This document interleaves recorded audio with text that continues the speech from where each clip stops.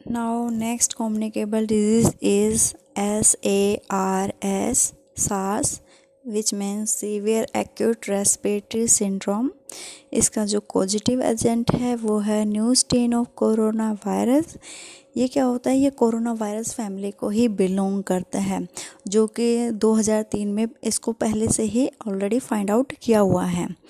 और जो इसका इंक्यूबेशन पीरियड रहता है, वो रहता है टू टू सेवन डेज़ में।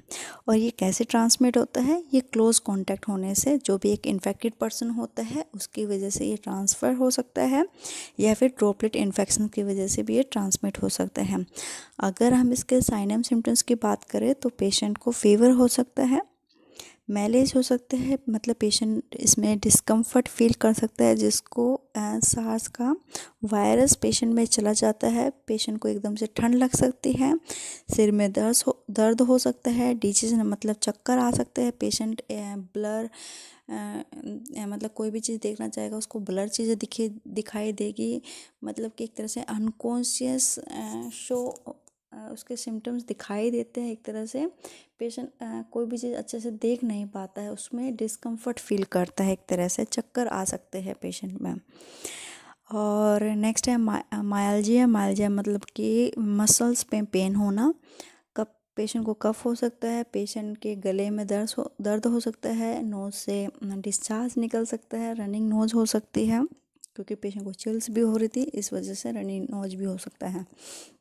तो ये क्या है, ये सारे वायरल डिज़ीज़ के ही सिम्टम्स होते हैं। तो इसमें सार्स में क्या होता है पेशेंट को वायरल डिज़ीज़ के ही सिम्टम्स शो होंगे।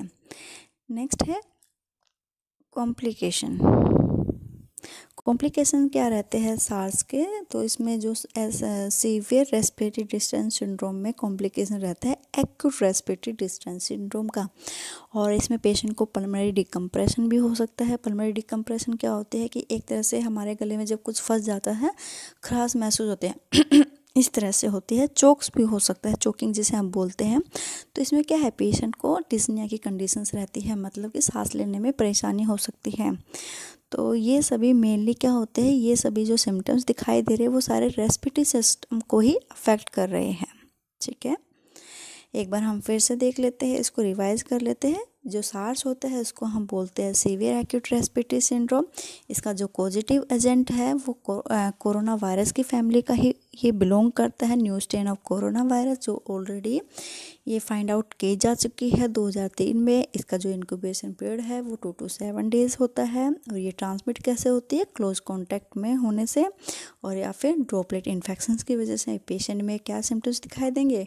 Fever malaise chills headache dizziness myalgia cough sore throat and running nose अगर कॉम्प्लिकेशन देखें तो पेशेंट को एआरडीएस हो सकता है पल्मरी रिकम्प्रेशन हो सकता है, जिसमें रेस्पिरेटरी सिस्टम हमारा सबसे ज़्यादा अफेक्ट होता है। नेक्स्ट हम बात करते हैं कम्युनिकेबल डिज़ीज़ की पोलियोमलाइटिस पोलियोमलाइटिस क्या है? इसका जो पॉजिटिव एजेंट है वो है पोलियो वायरस, क्योंकि हम पोलियोमलाइटिस की बात कर रहे हैं तो इसका वायरस भी क्या होगा? पोलियो, जिससे आप लोगों को ईजी याद हो सकें। और जो इसका वायरस है, वो कौन सा होता है? वो ये भी आरएनए वायरस को ही बिलोंग करता है। कौन सा? जो पोलियोमलाइटिस होता है, वो आरएनए वायरस को बिलोंग करता है। ये आरएनए वायरस की फैमिली का वायरस होता है, पोलियोमलाइटिस। और हर साल 24 अक्टूबर को वर्ल्ड में पोलियो डे के नाम से इसको सेलिब्रेट किया जाता है, पोलियो दिवस जिसको हम बोलते हैं। और जो इसका इंक्यूबेशन पीरियड है, वो सात से चौदह दिन के बीच का रहता है। अगर हम इसका ट्रांसमिट देख के ट्रांसमिशन देखें कि पोलियोमाइलाइटिस फैलता कैसे कैसे ट्रांसमिट होता है तो faecal oral route and droplet बहुत से पर्सन जो पोलियो वायरस से इन्फेक्टेड होते हैं, वे बीमार नहीं दिखते हैं। कई लोग जिनमें सिम्टम्स दिखाई नहीं देते हैं, वो क्या होते हैं इन्फेक्टेड होते हैं, लेकिन सिम्टम्स दिखाई नहीं देते हैं। और ना ही उसके किसी भी तरह के सिम्टम्स उसमें आगे दिखाई देते हैं मतलब कई बार दिखाई भी देते कई बार नहीं दिखा देते हैं। लेकिन ऐसा नहीं है कि अगर दिखाई नहीं दे रहे हैं तो उसको पोलियो नहीं है।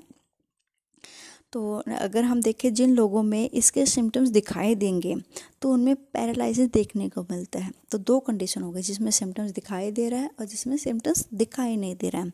तो यहाँ पे हम पैरालिसिस किसको बोल रहे हैं? जिसमें सिम्टम्स पोलियो के दिखाई देते हैं। ठीक है तो उसमें क्या है पैरालाइज देखने को मिलता है।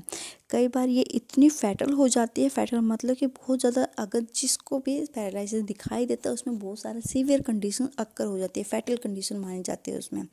इसमें पेशेंट की क्या हो जाती है, अगर फैटल कंडीशन हो जाती है सीवियर केस बन जाता है पेशेंट को तो उसमें क्या है, उस पेशेंट में उसकी डेथ भी हो सकती है, ठीक है। नेक्स्ट है वैक्सीनेशन तो वैक्सीनेशन क्या है? O P V and inactive polio vaccine ये दोनों तरह ये क्या होती है? ये दोनों तरह की जो वैक्सीन है, ये इनएक्टिव पोलियो को हम इंजेक्शन के फॉर्म में भी दे सकते हैं और जो ओ पी वी है, उसको हम माउथ के थ्रू दे सकते हैं ड्रॉप जैसे ड्रॉप डालकर, ठीक है? माउथ में ड्रॉप के थ्रू भी हम इसको दे सकते हैं। डब्ल्यू एच ओ ने रिकमेंडेड किया था कि सभी चिल्ड्रंस को फुल्ली वैक्सीनेट कर, करा जाए पोलियो से रिलेटेड पोलियो के अगेंस्ट ठीक है, जो है pulse polio immunisation programme in India in 1995 pulse polio immunisation programme India में लॉन्च किया गया था 1995 में। ठीक है, इसमें एक बार हम फिर से रिवाइज कर लेते हैं पोलियोमलाइटिस पोलियोमलाइटिस का जो वायरस होता है, वो है पोलियो वायरस वर्ल्ड वाइज इसको सेलिब्रेट किया जाता है ट्वेंटी फोर्थ अक्टूबर को, इसका जो इंक्यूबेशन पीरियड है, वो है सेवन टू फोर्टीन डेज़, और जो ट्रांसमिट होता है ये फिकल और रूट से होता है और ड्रॉपलेट से होता है। वैक्सीन की अगर हम बात करें तो OPV होता है और inactive in activated polio vaccine जो कि एक हम इंजेक्शन के थ्रू दे सकते हैं और एक हम जो OPV है उसको हम कैसे देते हैं? माउथ के थ्रू ड्रॉपलेट ड्रॉप डालकर दे सकते हैं।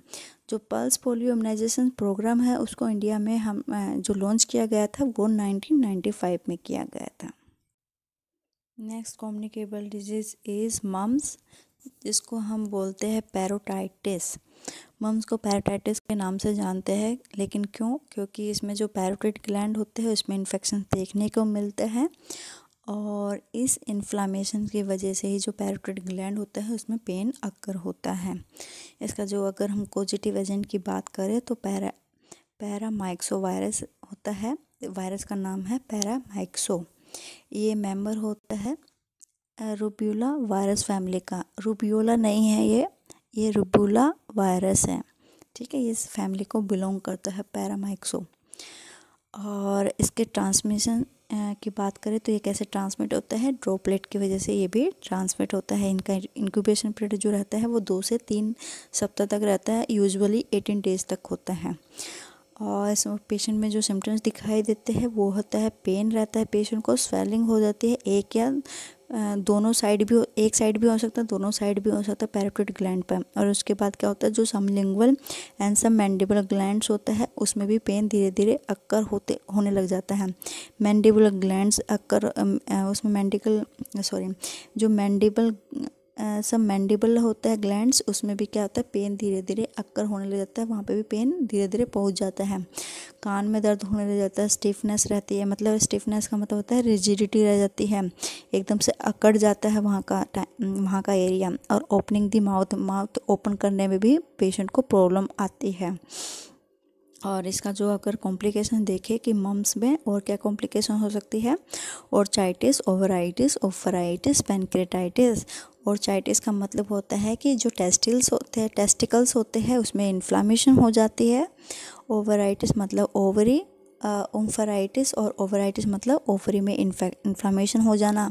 और पैनक्रेटाइटिस मतलब कि ज़्यादातर चिल्ड्रंस में देखी जाती है सारे डिज़ीज़ और और चाइटिस पैनक्रियाटाइटिस ये क्या होती है? बच्चों में देखने को मिलती है, जिसमें पैनक्रियाज में इन्फ्लामेशन हो जाता है पेशेंट को। किसकी वजह से? पैरोटोटाइटिस की वजह से, क्योंकि इसमें पैरोटिड ग्लैंड क्या हो जाता है? इन्फेक्टेड हो जाता है इन्फ्लामेशन बढ़ने लग जाती है।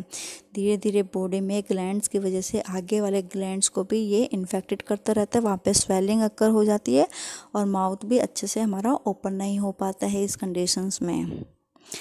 Next communicable disease is rubella rubellas others name is German measles and its positive agent is R N A virus R N A virus of toga family R N A virus जो कि toga family को belong करता है। जो Togo है, वो actually एक virus है, जो कि मॉस्किटो से भी ये हमारी बॉडी में ट्रांसमिट हो सकते हैं। रूबेला एक कॉमन इन्फेक्शन है। जो कि कई कंट्रीज़ में दिखे, देखा जाता है और हर साल एक लाख से भी ज़्यादा इसके केसेस देखने को मिलते हैं। जो रूबेला है, एक लैटिन वर्ड है, जिसका मतलब होता है लिटिल रेड मतलब छोटा लाल रंग का दाना। 1814 में जर्मन जो फिजिशियन थे, उन्हीं के, उन्होंने इसको डिस्क्राइब किया था जर्मन मेजल्स को और उन्हीं के नाम से ही, जर्मन फिजिशियन के नाम से ही इसका नाम रखा गया है जर्मन मेजल्स जो रुबेला वायरस है, वो स्पेरिकल और सिंगल स्टैंडर्ड होता है। और अगर हम इसके साइज़ की बात करें तो ये 40 से 80 नैनोमीटर साइज़ का देखा जाता है। और इंक्यूबेशन पीरियड देखें तो इसका जो एवरेज रहता है डेज़ के अकॉर्डिंग 18 डेज़ का होता है। अगर हम वीकली बात करें तो टू टू थ्री वीक्स में इसका इंक्यूबेशन पीरियड देखने को मिलता है। ट्रांसमिशन वही सेम ड्रॉपलेट और साइनम सिम्टम्स जो होता है कोराइजम कोराइजा का मतलब होता है, सर्दी जुकाम जैसे सिम्टम्स देखने को पेशेंट में मिलते हैं। सो थ्रोट मतलब गले में खराश रहती है लो ग्रेड का फीवर रहता है पेशेंट को लिम्फेडेनोपैथी लिम्फेडेनोपैथी मतलब लिम्फ नोड्स में स्वेलिंग हो जाती है पेशेंट को रैशेस रहते हैं पेशेंट को। अगर हम इसके कॉम्प्लिकेशंस की बात करें कॉम्प्लिकेशन मैंने इसमें नहीं लिखे, लेकिन फिर भी आप सुन लीजिएगा। जो कॉम्प्लिकेशन रहते हैं रूबेला जर्मन मेजल से, वो होता है पेशेंट को अथरालजिया अथरालजिया का मतलब होता है पेशेंट में जॉइंट पेन रहता है, जिस पेशेंट को रूबेला की कंडीशन देखने को मिलती है, जो भी ये सिम्टम्स दिखाई देते हैं, उनकी वजह से, ज़्यादा सीवियर कंडीशन होने की वजह से पेशेंट को अथरालजिया हो जाता है। मतलब सीवियर जॉइंट पेन अक्कर होता है पेशेंट को। और ये जो रूबेला जर्मन मेजल्स होता है चिल्ड्रंस में रेयर केसेस में देखने को मिलता है, लेकिन अडल्ट फीमेल में सेवेंटी परसेंट केसेस ज़्यादातर अडल्ट फीमेल के देखे जा सकते हैं रूबेला के। एक बार हम फिर रिवाइज कर लेते हैं। इसका जो पॉजिटिव एजेंट होता है, वो आरएनए वायरस होता है, जो कि टोका फैमिली को बिलोंग करता है। और इसका जो रूबेला जो है, एक लैटिन वर्ड है, जिसका मतलब होता है लिटिल रेड और इसको डिस्क्राइब किया था जर्मन फिजिशियन ने एटीन फोर्टीन में।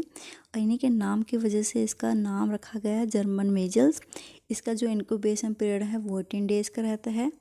और ट्रांसमिट ये भी ड्रोपलेट इन्फेक्शन ड्रॉपलेट इन्फेक्शन की वजह से ट्रांसमिट होता है। Sign and symptoms coryza sore throat low grade fever and lymphadenopathy and rashes complication arthralgia होता है। मेन जो कॉम्प्लिकेशन है इसका रूबेला जर्मन मीजल्स का वो है arthralgia severe joint pain next is influenza influenza का जो पॉजिटिव एजेंट होता है वो है type A type B and type C virus जिसको हम बोलते हैं, जो इसका जो वायरस है, जो मेनली वायरस यूज़ होता है, वो नाम लिया जाता है ऑर्थो माइक्सोवेराइट क्या बोलते हैं इसको? ऑर्थो माइक्सोवेराइड के नाम से ये इस फैमिली को बिलोंग करता है। तो कई बार क्वेश्चन आता है, इन्फ्लुएंजा जो वायरस है वो कौन सी फैमिली को बिलोंग करता है? तो उसका नाम होता है ऑर्थो माइक्सोवेराइड और अगर हम इसके इंक्यूबेशन पीरियड की बात करें तो इसका जो इंक्यूबेशन पीरियड रहता है वो है 18 से लेकर 72 आवर्स के बीच में। और ये ट्रांसमिट कैसे होता है? ये भी ड्रॉपलेट की वजह से होता है, क्योंकि ये कम्युनिकेबल डिज़ीज़ है।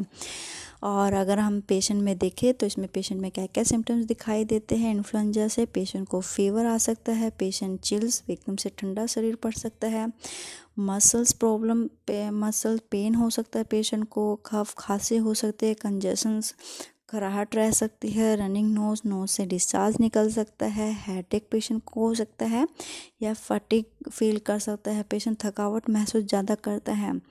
नेक्स्ट है कॉम्प्लिकेशन पेशेंट में इन्फ्लुएंजा की वजह से क्या क्या कॉम्प्लिकेशन हो सकते हैं? पहला है रेस सिंड्रोम रेस सिंड्रोम से मतलब कि पेशेंट में न्यूरॉन्स की प्रॉब्लम सबसे ज़्यादा अक्कर होती है, जिसमें पेशेंट कंफ्यूज भी रह सकता है। नेक्स्ट है निमोनिया निमोनिया ज़्यादातर बच्चों में देखा जाता है एक्यूट साइनोसाइटिस एक्यूट साइनोसाइटिस में क्या होता है? पेशेंट की जो साइनस की प्रॉब्लम होती है, उसमें साइनस में इन्फ्लामेशन हो जाता है। लेकिन कैसे? वो सिर्फ़ एक माइनर तौर पे होता है, लेकिन फिर भी ये क्या है? एक कॉम्प्लिकेशन है इन्फ्लुंजा का। ब्रोंकाइटिस, ब्रोंकिल में इन्फ्लामेशन हो जाना इन्फेक्शन ज़्यादा फैल जाना तो ये भी क्या है? ये भी रेस्पिरेटरी सिस्टम को ही क्या है? अफेक्ट कर रहा है। अगर हम इसके वैक्सीनेशन की बात करें तो ये भी दो तरह से दिया जा सकता है नेजल स्प्रे या फिर नेजल रूट से। लेकिन जो इन्फ्लुंजा है, एक ऐसी वैक्सीन है, जिसमें हम नेजल रूट से भी हम इसको दे सकते हैं। एक बार हम इसको रिवाइज कर लेते हैं। इन्फ्लुंजा का जो पॉजिटिव एजेंट है, वो है ऑर्थोमाइक्सोवेराइड फैमिली को ये बिलोंग करता है। लेकिन किस तरह के होते हैं? ये type A, type B and type C virus के होते हैं। और जो इसका इंक्यूबेशन पीरियड रहता है वो है eighteen to seventy two hours. Transmit ये भी ड्रॉपलेट से होता है। साइनम सिम्टम्स पेशेंट में fever, chills, muscles, ache cough congestion running nose headache and fatigue देखने को पेशेंट में मिलता है। कॉम्प्लिकेशंस तीन मेन कॉम्प्लिकेशंस है इसमें सेन रेस सिंड्रोम निमोनिया एक्यूट साइनोसाइटिस और ब्रोंकाइटिस भी पेशेंट में देखने को मिलता है। वैक्सीनेशन देखें तो पेशेंट में दो तरह से वैक्सीनेट किया जा सकता है इन्फ्लुएंजा के अगेंस्ट।